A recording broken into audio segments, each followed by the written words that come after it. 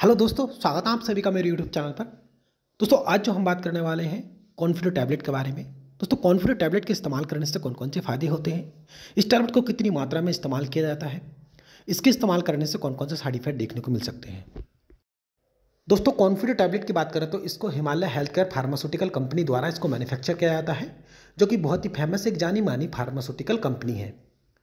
दोस्तों इंग्रेडिएंट की बात करें तो कॉन्फिडो टैबलेट के अंदर अश्वगंधा है विधारा है कौच है, गोखरू है, आदि इंग्रेडिएंट इस कॉन्फ्लू टैबलेट के अंदर इस्तेमाल किए गए हैं। दोस्तों प्राइस की बात करें तो एक सौ में ये साठ टैबलेट आती हैं।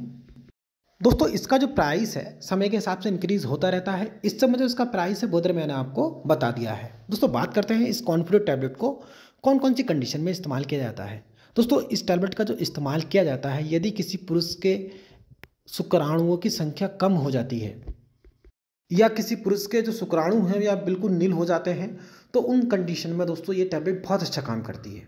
उसके साथ साथ दोस्तों इस टैबलेट का जो इस्तेमाल किया जाता है, यदि किसी को इरेक्टाइल डिस्फंक्शन की समस्या रहती है, या दोस्तों आपका दो से चार मिनट में डिस्चार्ज हो जाता है, आप अपने पार्टनर को संतुष्ट नहीं कर पाते हैं तो उस कंडीशन में दोस्तों ये टैबलेट बहुत अच्छा काम करती है।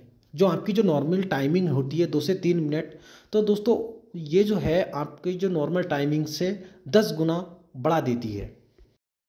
दोस्तों, शुक्राणुओं की कमी होना या नपुसकता जैसी समस्या होना, इरेक्टाइल डिसफंक्शन जैसी समस्या होना, इन सभी कंडीशन में इसका इस्तेमाल किया जाता है, जो इसके मेन मेन फ़ायदे हैं।